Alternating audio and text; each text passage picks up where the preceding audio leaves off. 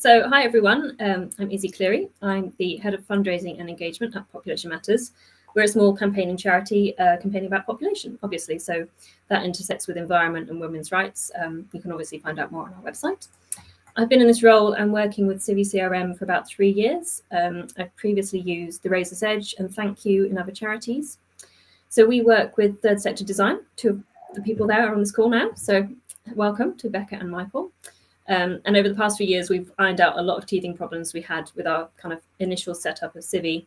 We've added some new functions to the website and some more kind of user and donor experience integration. So that's included a website refresh, some new fundraising pages, and also more recently a move from Drupal to WordPress.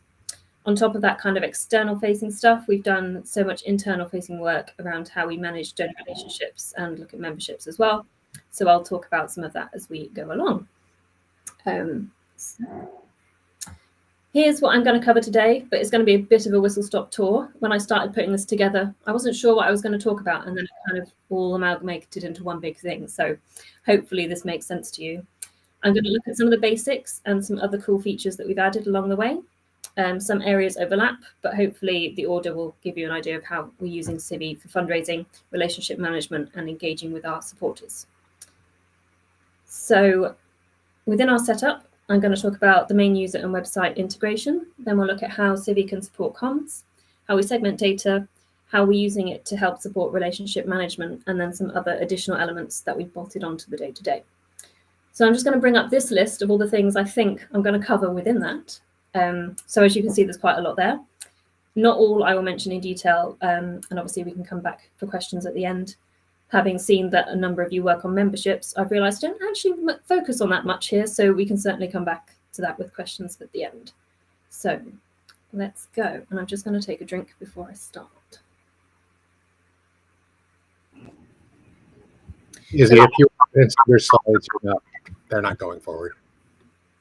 Sorry, say that again if you were advancing your slides, that you were, we're still on the top page. Oh, I was. The, the, the, the screen is shared with the one with your uh, speaker notes rather than the actual presentation, if that helps in any shape or form.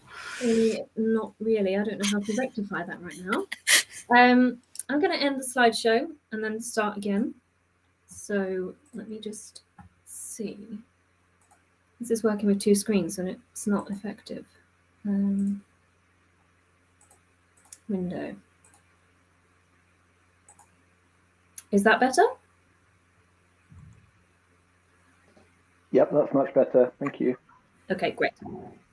So let me, can you still see it? Yeah? Yep, we can see that fine. Great. So now you can see the content list. Yep, that's working. Fabulous. Okay, so back to what I said before of my kind of list of um, extra things that we're going to cover within that short summary. Um, there's a lot there, but we can come back to questions at the end. And obviously not all of this I'll go through in detail. So as I mentioned, we have a WordPress website and that's kind of uh, WordPress linked to CiviCRM. And then these are just three screenshots of three main interactions that users can have with our website. So the first one is the mailing list. That's kind of our bread and butter, particularly as a campaigning charity. So the more people we can get to take that first step and make it onto Civi with a contact record, the better. I'll talk about how we use groups for the newsletter later. But in terms of the user experience, um, you know, you've just got first name, last name, email, really simple, and then the kind of um, privacy policy sign up check at the bottom. So in the UK, we're still under the GDPR regulations, which is the data protection law in the EU. Uh, so that covers that off. So then the other options we have are to make a donation. So that's a one-off uh, gift towards our work, or then you've got the membership. So both of those have these really nice widgets, um, and you can choose, particularly with the membership, if you want to make a monthly or annual donation and the amount. Um, we have two levels of membership, which I'll come on to later. So once the user has been through this process, they move on to a themed Civi page um, with a profile and form to add in all their details and payment information. So that looks a bit like this. So you can see that URL at the top is where you go to next in terms of, oh, sorry, going ahead of myself there, where you go to in Civi from the website. So you can see from that URL that I selected to make a donation of £100 and it was a one-off donation. So on the screenshot on the left, you can see kind of the form that would appear for the user. And because I'm logged in, you can see the form has pre-filled some of my details. And we do have another function that's possible to enable existing donors to pre-fill their information too, which I'll mention later. But for now, what I wanted to show you was the configuration for the contribution page. So that's the middle screenshot you can see there. So for this particular donation, we're limiting it to card payments via Stripe. And for a one-off donation, the recurring option is not selected, but of course we would use that function for our memberships. We also limit our contribution pages by different financial types that really help us account for donations correctly and create different searches and reports. So the financial type for this one is just donation, but we have others set up for membership and for specific cash appeals, and we use grants for income from trusts and foundations, and a separate financial type for legacies, which is from gifts and wills.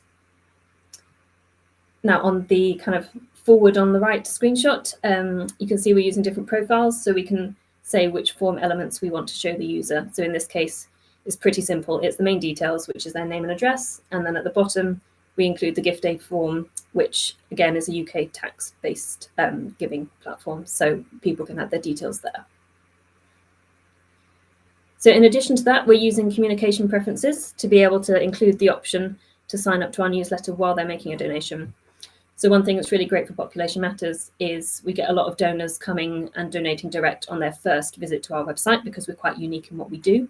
So we don't want to lose the opportunity for them to also sign up to our newsletter. So we've got that function in there so they can sign up to the newsletter at the same time. Obviously, once someone's given a gift, we want to say thank you. So for that, we're using scheduled reminders. So no matter which contribution page we're using, um, we set them up here. There's just a list of a few of them um, on the left-hand side. So for the example we've just seen, you can use the thank you donate, and that's linked to two contribution pages, actually, the 8 billion and counting page and the donation page. So that's triggered when an action occurs related to that page. And we use that for Empower to Plan appeals as well. So each schedule reminder is personalized to the action taken. So we have a separate thank you for Empower to Plan, which is our crowdfunding campaign, um, so all those templates are different, so they're really personalized depending on what project the donor has chosen to support. So you can see at the bottom right there, just a tiny snippet of one of our email templates, which is what I'm going to show you next.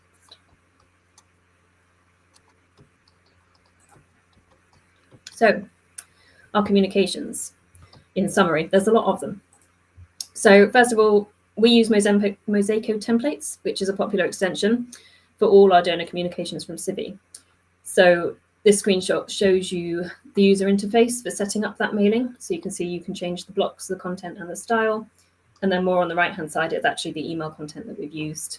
Um, this example is from our Christmas match funding appeal, which was a mass mailing, but we also use the templates for our one-to-one -one communications.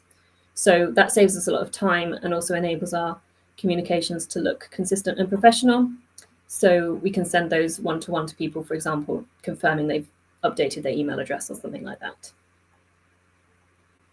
So key things about Mosaico templates for fundraising and kind of the really important stewardship that we do is using those tokens like contact email greeting to make sure each email is personalized to the person. And then we also use checksum links, which I'll come on into a moment. But I just wanted to draw your attention also here to the unsubscribe link at the top of the email. So that's related to communication preferences and again, GDPR. And also, I'm sure either Becca or Michael will be able to talk about this later, but you might notice top left of the screenshot that in the background, I found this template through using Form Builder. So previously, it used to be a nightmare to try and find all, all our templates, but we now have this really nice um, search function that we can find our templates more easily. So if anyone's got any questions about that later, I'm sure they can be answered. So checksums, as I mentioned, really, really useful. Um, it enables us to pre-fill donation forms with personalized data for people. So it helps ensure we don't get unnecessary duplicates for existing contacts when they're making new actions, but it also means we're saving supporters time when they've interacted with us before, they can you know, go straight to a form and find their address is already pre-filled. They don't need to do it again. So the hyperlink is embedded in the donate button and it looks like the link at the top. So the start of the hyperlink is the appeal page. In this case, it's one of our Empower to Plan projects. And then everything from the question mark onwards is the link that Civi uses to identify the record. So we used to use this functionality for linking to communication preferences as well. But since the move to WordPress, we're now using the Afform token, which is the URL link at the bottom. Now, I can honestly say I've forgotten why we do this. So again, if you want to ask Becca or Michael at the end why we switched to that functionality, you can, but it effectively does the same thing. It recognizes the person who's received the email and links up to their record in the database. So on the right-hand side is a screenshot of our communication preferences, and we updated those last year. Um, it's kind of a, a nicer way for people to decide what they want to hear from us, and they can easily unsubscribe. So all the options for people are listed, um, and whether they can receive things by email or post. And this is also aligned to other detail on people's records. So for example, you'll see in this list that I have the option to receive the Population Matters magazine, and that's because I'm a member. But if you're not a member and you don't have that benefit, you wouldn't even see that as an option. So it's a really nice customizable communication preferences page. So I'm going to talk about groups later, but effectively, when people unsubscribe from these mailing lists, they unsubscribe from groups in Civi. But I just wanted to show you very quickly in terms of mailings what we're doing for some A-B testing, which might be something that you'd be interested in doing. So the left-hand screenshot is kind of the basic uh, mailings in Civi you might be familiar with. And then obviously we're testing different subject lines in this case. So we do this for our general monthly update as well as for fundraising appeals, just to try and increase the open rate. So we can try multiple different subject lines for different groups and see what works best.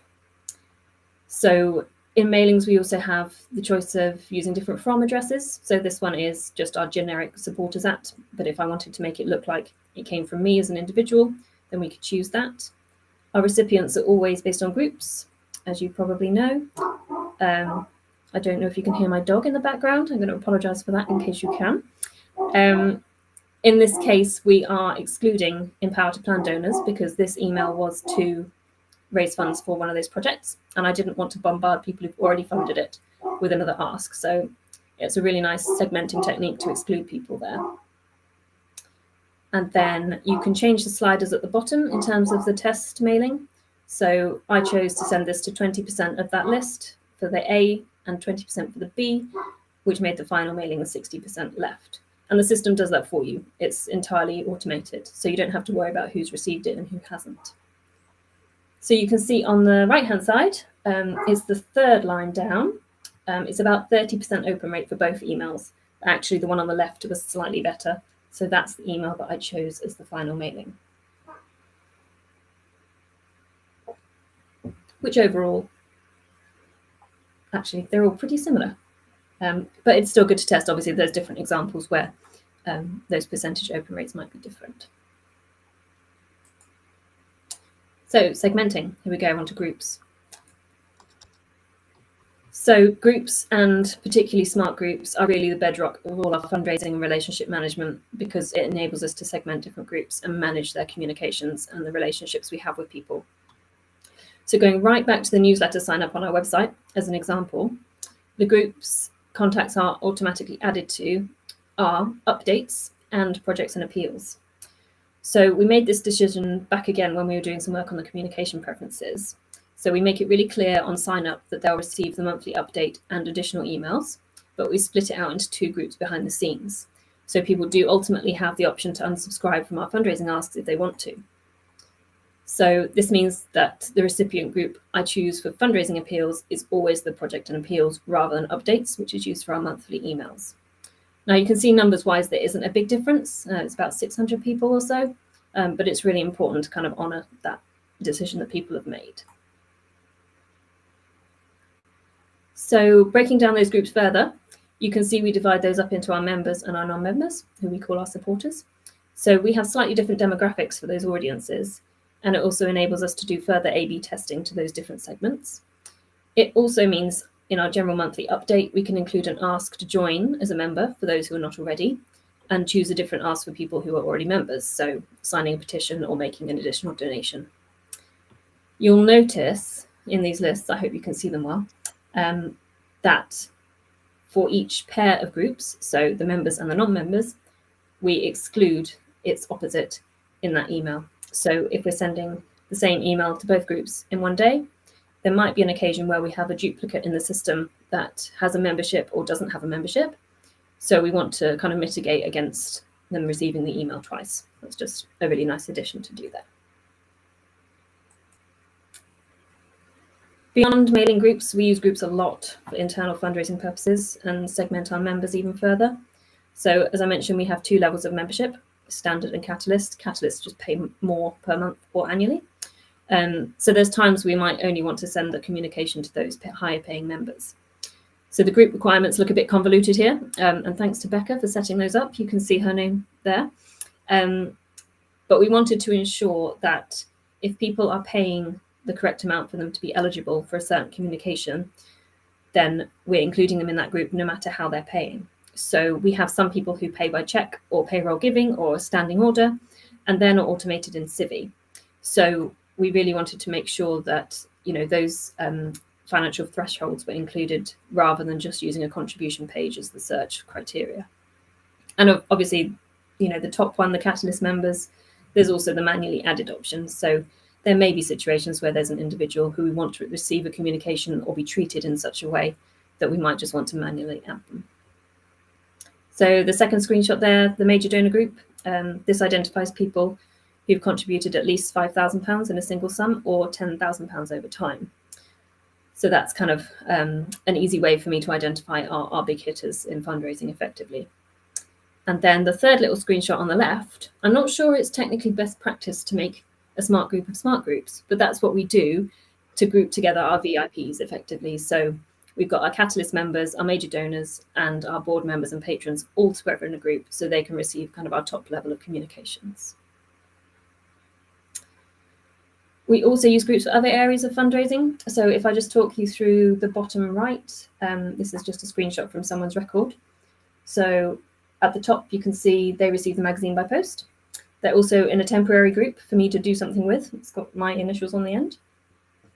And then we've got current members, Catalyst members. This chap's very um, generous, so he's also a life member a bit further down. Because he's in the Catalyst members group, he also receives the behind the scenes email and he also receives the annual report by post. So there's a range of ways you can use groups to segment people for mailing lists or other reasons that you might be communicating with them, or even just as placeholders to group people together. It can be really useful. So relationship management, really key for fundraising. Um, and obviously there's a lot more you can do, but here's just some of the ways that we track how we're working with people and also the kind of the internal facing side of it.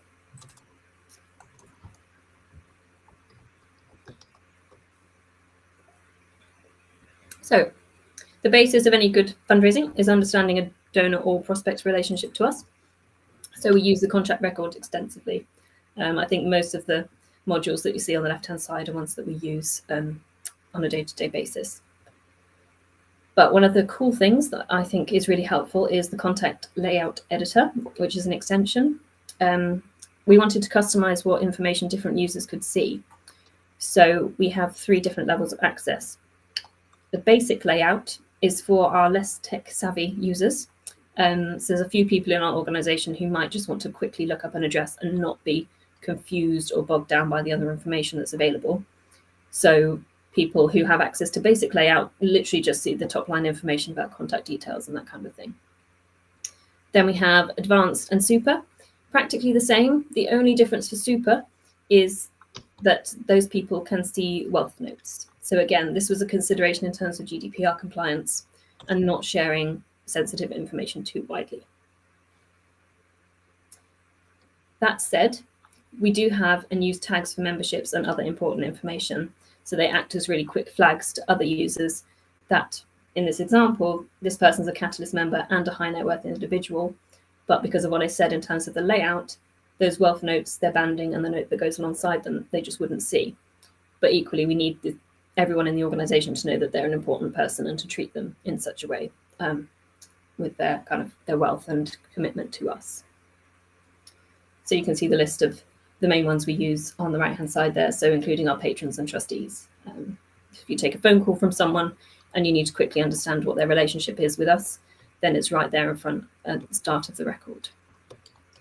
We also have different tags for things like themes that we do. So if people are interested in uh, women's rights or climate change or biodiversity, those are tagged. And we've also started using it for our external stakeholders. So just other people and organizations we communicate with, we have their type logged. So they might be a funder, they might be a government body or another NGO. Now, activities are really key. I couldn't live or do my job without activities. Um, they kind of explain everything to do with the relationship and the chronology and how a person's interaction with us has evolved and you know most recent communications that kind of thing so in a lot of cases our supporters will just have a very long list of bulk emails which is what is logged when they receive a mass mailing so one top tip i have is to exclude bulk emails or whatever it is in your system that is most logged so you can see the wood for the trees it's really difficult to see you know a specific email sent four years ago if there's four years worth of bulk emails in that list. So in this example on screen, um, let's work from the bottom up. So you can see this person received a mass email, uh, which is the end of 2022. Um, they then received an email that was a thank you and their receipt in the post, and then that was logged as letter sent. There was a phone call involved as part of that exchange. There's more bulk emails. Then an email was sent about our biodiversity projects, and there's a scheduled phone call to follow up with that donor on that activity. So it's really a one-stop shop for kind of the relationship and the history of our conversations, basically. So we also use the scheduled activities to ping a task to another staff member, and we're using CiviRules extension in some places. So as one example, offline donations that receive um, checks in the post, for example, there's a rule set up so that I receive an email to notify me that that contribution requires a thank you because it's not automated as it would be if they donated online. So how do we keep track of all that? And as Becca knows, this is one thing that really excited me when we implemented this, probably this time last year. So this is a screenshot kind of trying to hide the detail so it, it doesn't look as it does from my screen. But these are dashlets on my home screen that kind of inform my to-do list. Um, it's really helpful to remind me of tasks that I've got coming up, or I can check um, what outstanding tasks are assigned to colleagues and really follow up with things far in the future. You know, for example, a grant report. I can use that to tell me that in six months' time, I need to send a donor a grant report. So these are created using SearchKit and there's a wide selection here, but the overdue and upcoming activities are kind of my bread and butter, and the my contacts divided into individuals and organizations. So kind of the difference between individual donors and trusts and foundations, basically. And they're formed based on a relationship type where I'm listed as the primary lead. So they're effectively my portfolio of donors. And then other members of the team have the same thing. Um, and then the one with more detail is basically generic activities to anyone um, I might have a scheduled activity assigned just so those little bits and pieces I can make sure I'm picking up um, that colleagues might have assigned or just remembering to send an email, for example.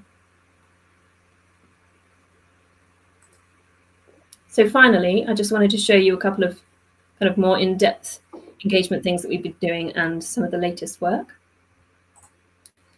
So annual surveys really bring together most of what I've just spoken about, really. Um, and they're a really key part of our engagement with our members and supporters.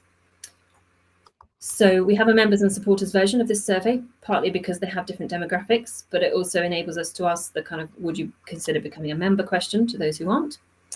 So when a user fills out the form online, we use the Afform token in the email to announce it so it connects to their existing record. All the information about their response is added in an activity and each question is set up as custom data, which is then accessible in the advanced search, so we can quickly and easily segment on the results. For example, the screenshot here, I can quickly find all the people who've said they're interested in leaving a legacy to Population Matters, and then use a Mosaico template to email them that information they've said they'd like to receive. So we also have a SearchKit set up to list all the results in the background so we can export and analyze all the responses as a whole, which we always use for our annual reports. And personal campaign pages are the latest thing. Um, they're effectively an in-house version of JustGiving. So this is a new area of fundraising for us that we're proactively formalizing, and it's a really good way for us, particularly as a campaigning charity, to raise awareness as well as income. So from a link on our website, people can now sign up for a user account and create their fundraising page, just like you would on JustGiving or similar. Um, so there's a totalizer and the sharing option, just like other platforms. And there's more functionality we want to add in in future. So we want to be able to list donors with an option to be anonymous, and have a blog section for the fundraiser to update donors on their progress. Now, all those individual personal campaign pages are linked to the same contribution page at the back end, and they have their own financial types, so we can track and report on contributions being made to those pages. So we'll be able to track, you know, are these making a difference? Are we getting significant income? How many pages are being set up per year? All that kind of thing. So again, like I said, for donations, we're using the update profile in addition to the donation form. So when people who are new to Population Matters land on one of these fundraising pages, they have the option to sign up to our newsletter in one fell swoop and kind of be added to the mailing list as well. So what next? Um, we're in a really strong position with all this working together. Um, it has taken some time. Um, I've been working with Civi and Third Sector Design for three years now, and it has been a long process, but we're, we're really getting there, tightening everything up, and it's all talking to each other as we'd like to. But the next things we're looking at are installing the Chasse extension to look at um, donor and supporter journeys, basically. So what happens when people sign up to the newsletter? They currently receive a welcome to the newsletter email, but nothing beyond that. So we want to really improve that journey for people. And then we're also looking at having a function so people can order our campaign materials so um, again, on the kind of fundraising versus awareness raising side of things, that will really add an extra element. So similarly to the dashlets, you know, when someone orders the materials, then actually they'll go to Anthony, who's on this call. He'll have a little dashlet and it will say, Joe Bloggs wants to receive five leaflets about Sir David Attenborough, and he'll be able to send them on. So watch this space and hopefully we can fill you in on those developments later. Um, but that's all from me, apart from any questions. And thank you for listening. Hey, thank you, Izi. That, that was really fascinating insight into how you're using CiviCRM. Um, I've shared the link in the chat um, to a document where people can add their questions. And okay. we've already got quite a few questions in there. Um, cool. So shall I read out the first couple of those and then you can see if you can answer them? Yeah, sure. And if I can't, I'm sure someone else here will. Yes, absolutely. Yeah. Um, so the first question was about Mosaico templates. So asking if that's a separate extension from the main Mosaico mailings. Um, I want to say no, but someone please confirm. I'm I'm going to say yes. It is. Ah. There is a there is a separate extension that allows you to use any Mosaico template in a CiviCRM system message. So you can then use it as a scheduled reminder or in the standard, you know, mailing templates, one off ones. It's a separate extension. Thank you, Becca. And there's a, the next question was about donation page. So how do you get the link to pre-fill the donation amount? Ah, so it doesn't pre-fill the amount. So the way we have it set up is the link will go to where the donation widget is. And at that point, you select the amount. And then when you move on to the form, that's where the kind of address information will be. So there's kind of a middle step in there that doesn't necessarily pre-fill the amount, but I'm sure you could probably do that in some way.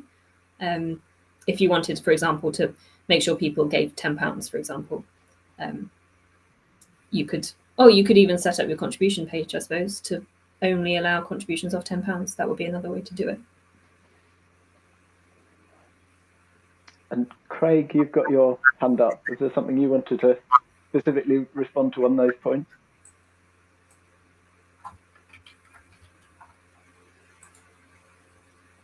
Craig, did you want to speak?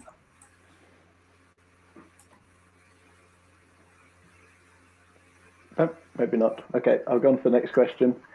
Uh, so does changing the email address in the newsletter, um, oh, does changing who the news the email address is from cause it to end up in spam folders?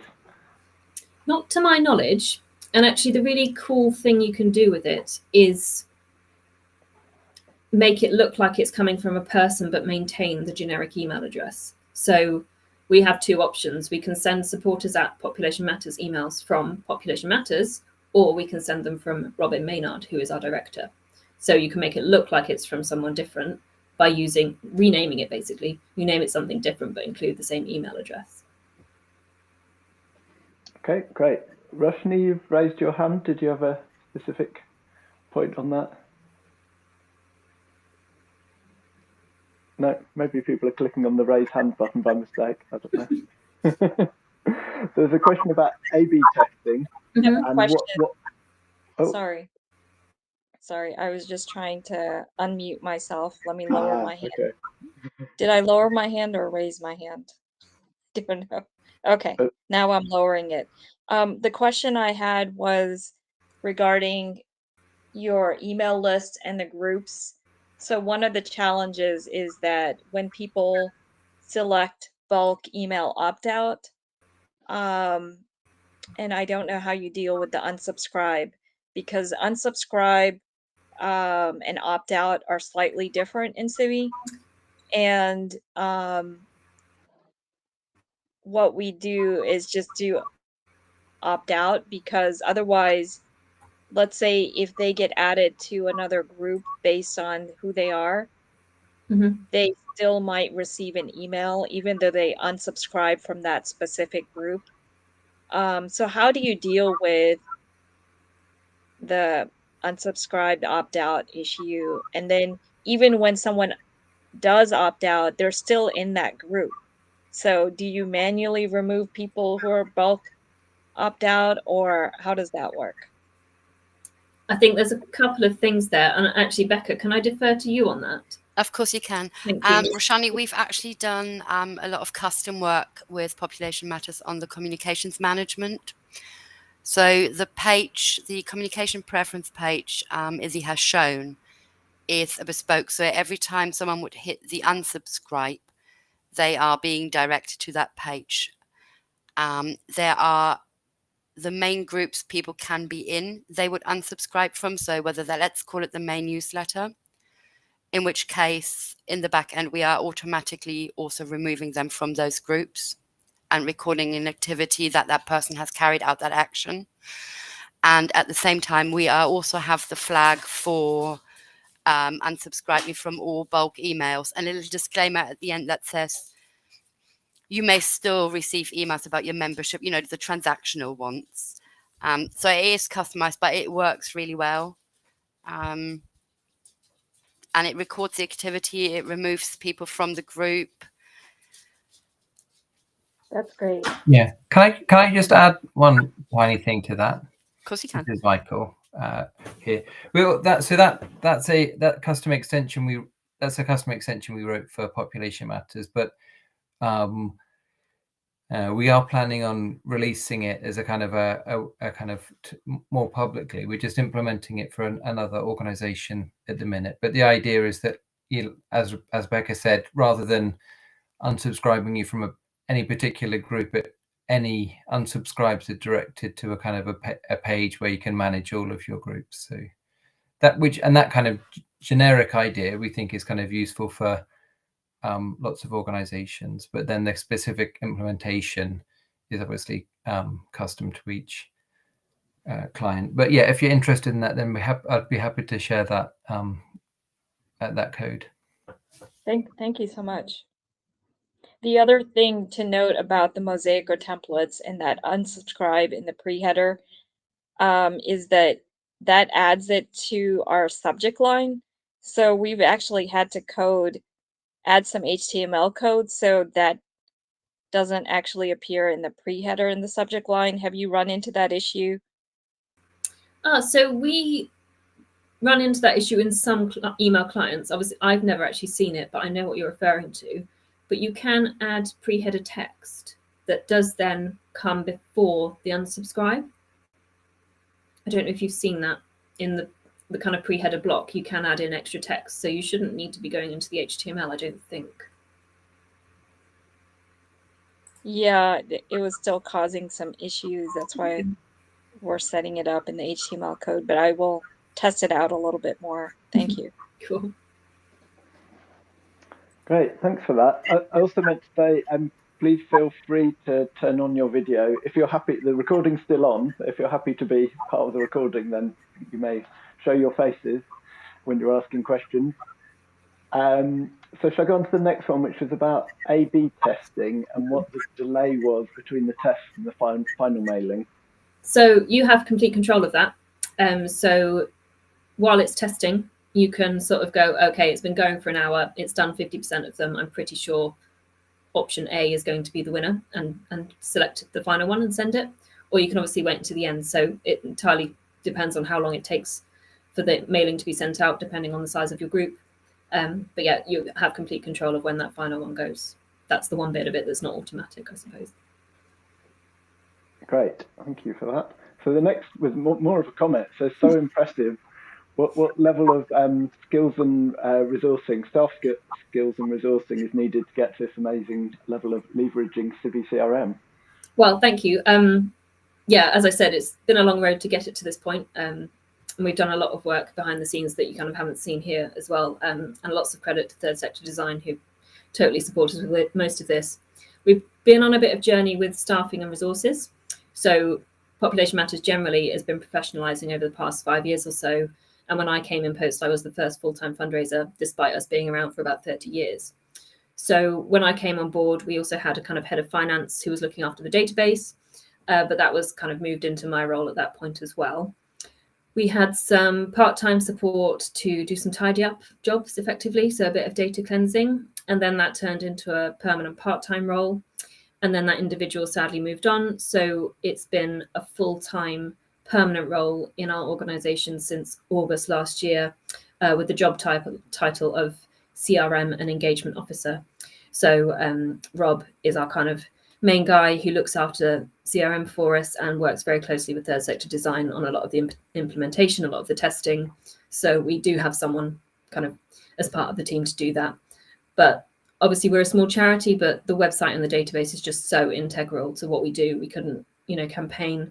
Everything's digital now. Everything's online. Without this as a resource and this setup, we basically wouldn't exist as we are. So for us, it's a really clear investment to make. Um, but obviously, smaller charities might not be able to make that commitment to it. Um, in addition to obviously having a consultant on board to do some of the newer stuff as well.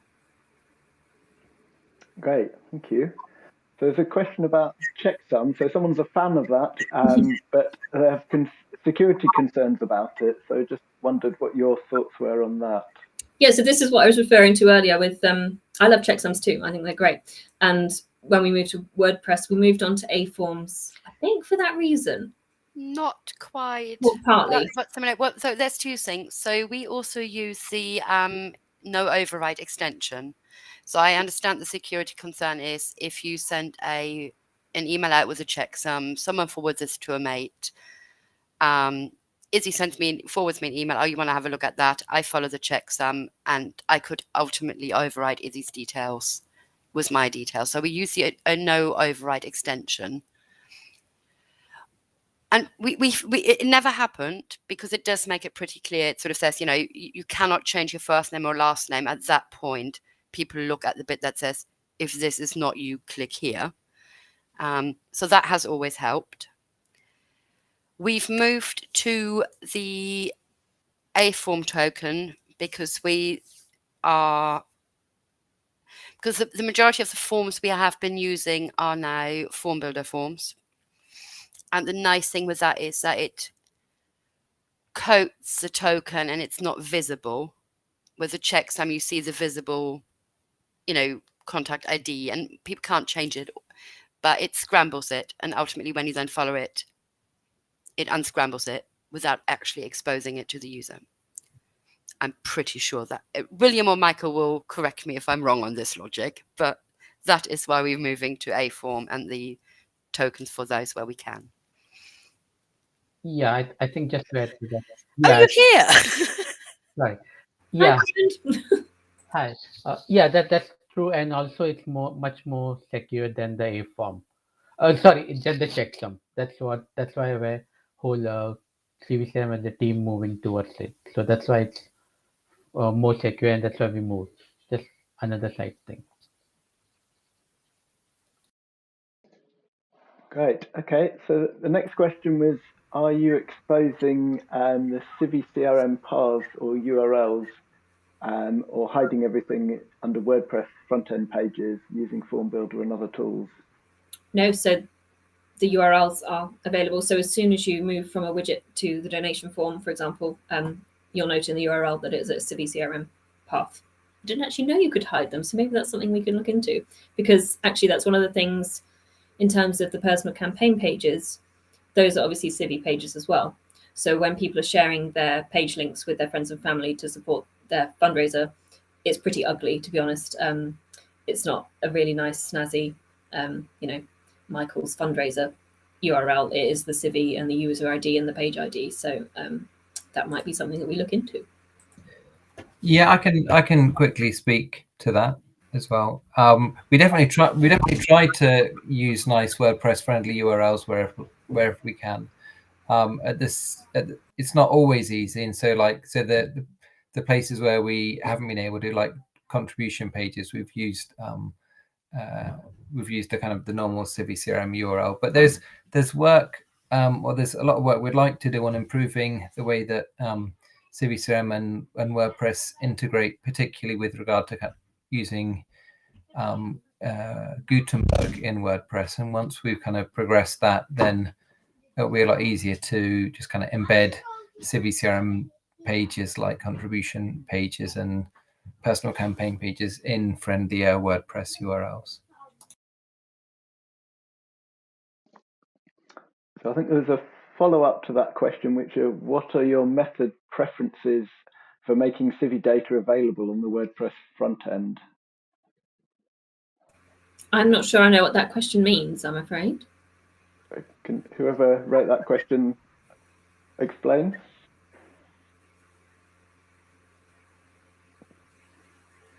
Feel free to unmute yourself. Sure. Uh, no, it's just basically, you know, I assume you're using the form and form builder to do so. And, but I was wondering if you had, if there were specific, if you preferred form builder, if you had other mechanisms that you were using to present the data in a viewable form or for interaction of editing the backend data. I don't think we have any. I mean, I can I can answer if you like. Yeah, please go ahead, Michael. I mean, we've, we've used a bit of every, we've used you know for, so we've used a few different we've used SearchKits we've used some uh, Gutenberg kind of custom Gutenberg components uh, or blocks and we've used normal contribution pages. It's kind of like it's a bit of a mix of everything. I think it's kind of there's a bit of pragmatism I think involved in thinking well actually in this circumstance just a, the native contribution page is better or this this time we can use a form builder form or a SearchKit display or so i don't think there's one perfect solution for everything it just kind of depends on what what we're trying to achieve and what the the best tool available in, civi at the time is. It's kind of always evolving. May i add to that? That may help. So one of the things we are we have done is for example the anyone that starts a personal campaign page or may eventually want to order campaign materials, we we have a WordPress page that is their dashboard. That's a mixture of really nicely themed SearchKit results, bringing in rather than the core. You know, these are your personal campaign pages, so it's a nicer style one. We're limiting the options, but we've also added the extra action saying, "Oh, do you want to start another page?" or you know, and then and then linking to whatever form other form we need them to go to. And that's all on, at the moment, all on one dashboard, pretty much driven by SearchKit and Form Builder. Okay, so the next question is why did you move from Drupal to WordPress? I believe it's because the next available Drupal version was going to be the last, if I'm correct. So we the kind of the move to WordPress was going to be inevitable. So before we moved up to the next level of Drupal, um, we made the switch to WordPress. So. Can I do it quickly? Jump in. Yeah, well? I mean, yeah. please correct me if I'm wrong. Yeah, no, I mean, I think that's broadly correct. I, I, the way I would the way I would put it is also like so there are there is a newer version of of Drupal that we could have moved to, but kind of migrating to that would have been just as hard as migrating yeah. to to WordPress, and I and I think ultimately, um, WordPress seems to like we were we going back uh, maybe three or four years, we were definitely kind of a Drupal um, favored Drupal, but these days I think anything you can do. This is a totally subjective opinion, and people will disagree with me, but um, anything that we need to do, we can do it in WordPress, and we kind of feel like the kind of WordPress is a much easier and more kind of user friendly tool for most people to use, and it allows us to do everything we need to do. And the kind of the Gutenberg content editor is really great as well. So they're the kind of they're the reasons. Uh, certainly, they're the reasons that we we've moved as an organization that's doing CiviCRM to WordPress, and that's what we recommended for population matters. Yep, and we take their advice as we do on a lot of things. It's very good advice. Great, thank you. Were there any other questions from anyone? No, but if not, um, I will turn the recording off and we can um, continue on with a more sort of informal chat and a few updates about CiviCRM